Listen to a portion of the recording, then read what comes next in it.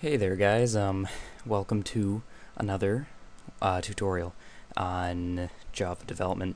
Uh, this one is going to be actually pretty extensive, um, but it's definitely going to have a really cool outcome, and I think you guys will like it. Uh, so stick around because we're going to do something pretty sweet.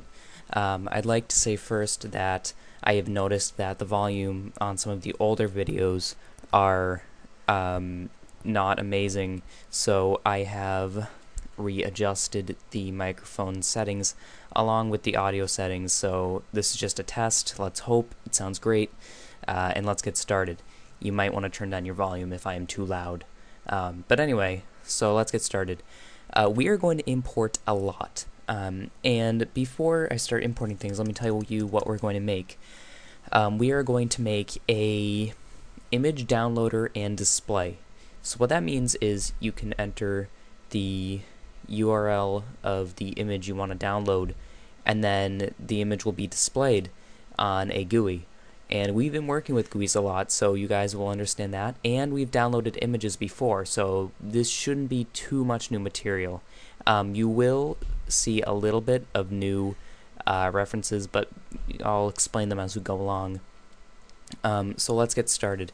The first thing we want to import is well, import java x dot image io dot image io with capitals and import uh, what is it? Java dot awt dot image dot uh, hmm, oh lowercase image dot buffered image and then import java.io.file import and before I import the other things uh, let me tell you that if you are getting overwhelmed already by all these imports that's okay. Um, you don't need to worry. Uh, and I will really explain everything that's going on. So don't get worried by all of these imports. Uh, you may seem overwhelmed but don't worry about it. Everything will be fine just uh, stick with me here for this tiny bit. And then import java.net malformed URL exception. And then import java.net URL and import lastly java.util dot scanner, which you know and love. Alright, now we've got all these ridiculous imports in, and we can forget about them. Um, they just allow us to use what we need to use, so don't worry about them. We're done with those. Um, let's get to the part where we actually start coding this. Um, what we're going to do is we are going to uh, first declare our variables. Um, and so we do that by typing, and I'm going to add comments along the way. So slash declare variables. And then, so we're going to create a first variable called buffered image, and we're going to name it image, and we're going to set it to null, which means nothing in programming language. Um, buffered image is just, well, an image, which is just like its name, um, and we can store image files in there.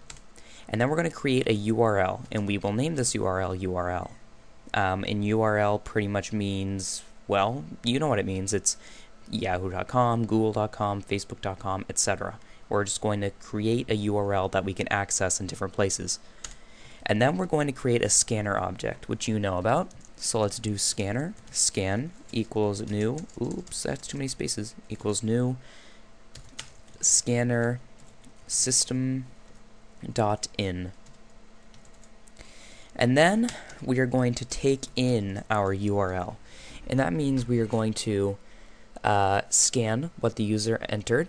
So let's make a comment, take in URL, and let's write system out println, enter the image URL below so we can tell the user where to enter.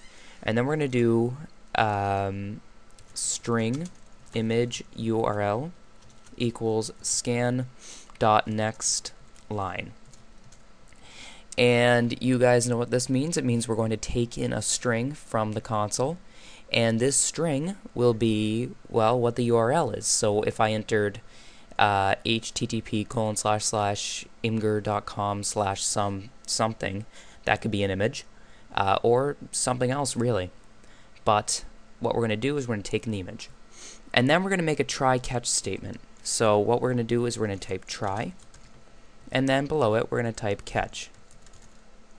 And then we're going to catch the exception, and then we're going to put some stuff inside this try catch statement. We're going to put URL equals new URL, and then image URL. Now, um, what this means is uh, we have set our URL to be equal to image URL, which is our string, um, which we took in from the console.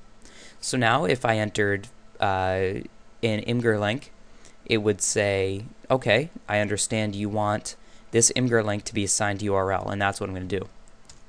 And then we're going to create um, well, we're going to read the image from that URL. So what we do is we do image equals new. Uh, actually, no, image equals image io dot read, and then read the URL. So what this does means what this does is it will read the um, image that we put in from the URL. Um, so let's say we had a picture of a cat. It would read if we had a picture of a cat uh, on this URL, it would read that cat image and it would assign it to the variable image. And then what we're going to do is we're going to do two, uh, we're going to do an if statement. So let's do if, and this part will seem a little confusing and I'll explain it once I'm done typing. So if exclamation point new file and then C uh, quotations C colon slash slash temp slash slash downloaded image dot JPEG dot exists. Then do this. So let me break this down for you. If you guys, or you should already know, that an exclamation point in programming means uh, if this is not true. So what we're pretty much saying is if this file which is located here, does not exist, do this. Um, and so uh, what we're pretty much doing is we're creating a new file, and the file is located at c temp downloaded image.jpg, um, and then we're checking if this file exists. And you guys might not be familiar with file, but file is actually another import, and that's why we imported it up here at the top. But uh, all you need to know is that we're checking if the file here exists. Now, let me show you something. I have created a folder inside my C drive. I have named the folder temp. Uh, in order for you guys to follow along with this tutorial, I'd ask that you create a folder named temp inside your C drive. And that's pretty much all you need to do. Um, and so once we have checked if this file exists, we're going to do something. So let's make a comment. If file does not exist, create a new one. And so what we can do is we can do image io dot write and then image uh, JPEG and new file c colon slash slash temp slash slash downloaded image dot jpeg okay so what we're doing here is we are going to write this image which is our um, uh, what we used as an example was our cat picture.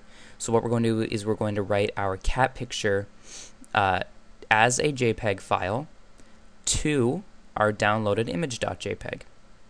And that's pretty much what it means. Um, and that's all you need to do for this.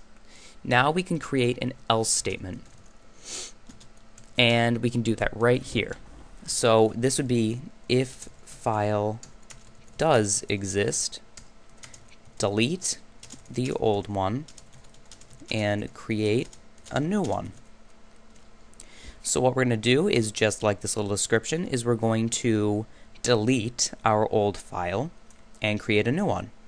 So what we have to do for that is we have to type new file c temp downloaded image dot jpeg and then dot delete.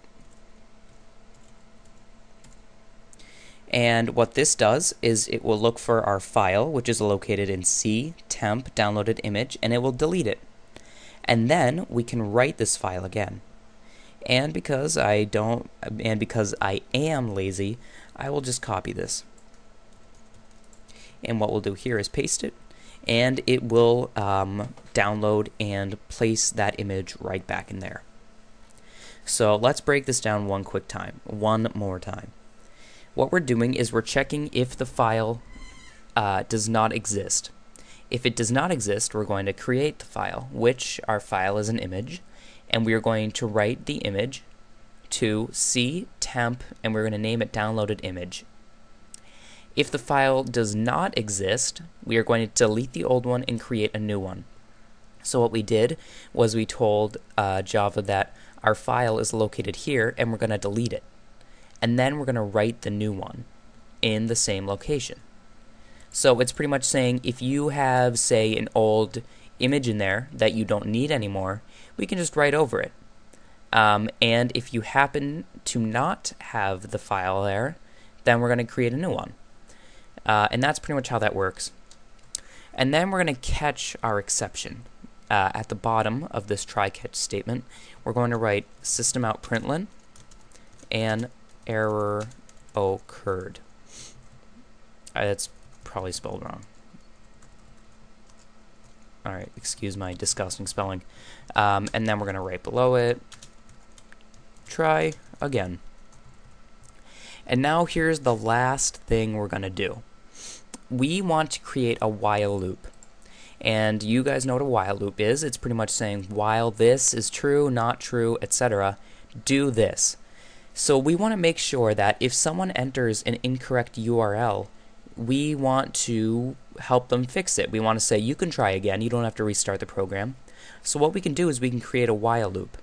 So in this while loop, we can say while um, try again equals equals true. Do this, and we will surround it with squiggly braces. Now the reason the compiler is complaining is because try again has never been created. So let's create it right now. Let's do boolean try again and set it by default equal to true. And so now we have our while loop set up. And at the bottom of our caught exception, we can just type try again equals true, so they can try again. And at the bottom of our try uh, regular try statement, we can do try again equals false. So what this pretty much means is if an error occurred, like an incorrect URL was entered, we can try again. And so it'll restart. But if you downloaded the image correctly and everything went as planned, you don't need to try again. You've already downloaded your image. So that's all you need to do. Let's organize this really quickly by pressing uh, Control A to select all and Control I to indent it. And now it looks a bit neater. Um, and we should be good to go. So what we're going to do is our last, uh, not last, but almost last thing, is we are going to actually paint the image we downloaded. And we did this uh, earlier, and it was pretty easy. All we have to do is type image, uh, my image equals toolkit dot get default toolkit dot get image and then our image's location. And I remember that we put it inside C slash slash temp slash slash downloaded with a lowercase d downloaded image dot jpeg. Okay, and then since we've told um, my image, what the image is, we can display it on screen. So we can do g dot draw image. Oops, that's a bit much. We don't need that much. Uh, g dot draw image and inside here we can put my image and set its coordinates to 100 by 100 and the class this. So this class. And that is all we need to do except for one thing I keep forgetting. We need the uh, main method to know exactly where to start. So we can make it start in download image method.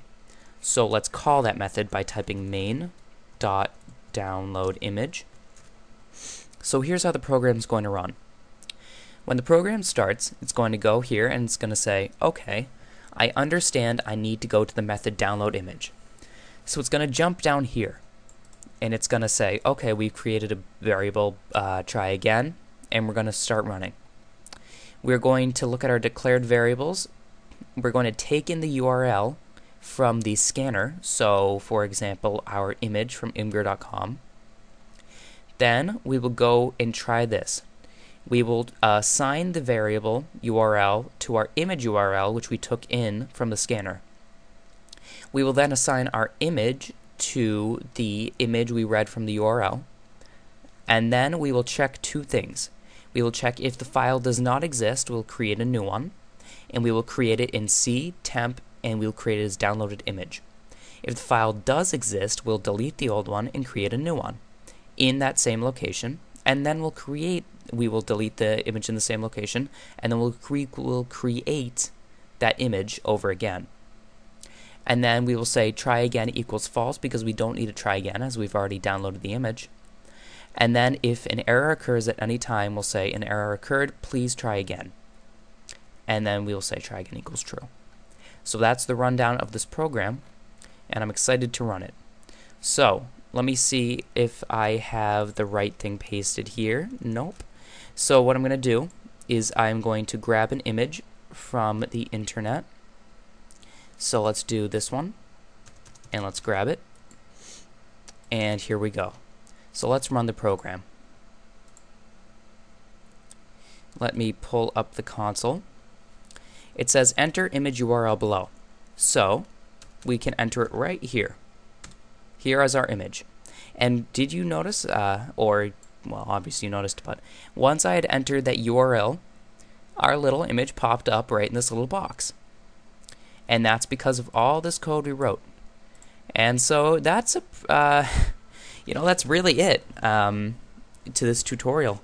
Um, and I'm honestly, if you are still watching this at this time, I want to thank you a ton because this was a long one, but definitely worth it. Um, but before we go, I want to try one more thing.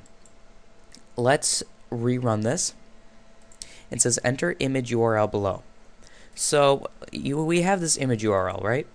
Let's erase some of it so it's incorrect. So where it says enter image URL below, let's enter a broken image and press enter.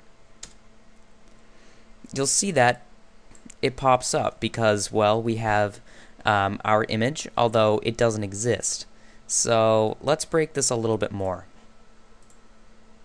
Let's enter the image URL below, but just enter, hi there, I'm not a URL.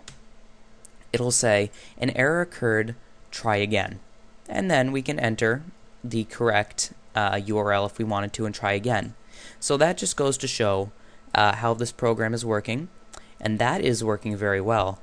And really that's it for this tutorial. I'd like to thank you guys for sticking around for those 20 minutes. I hope you definitely learned something. Um, I will post all of this um, to Pastebin so you can take a look. Um, and, well, that's pretty much it. I'll see you in the next one. See ya.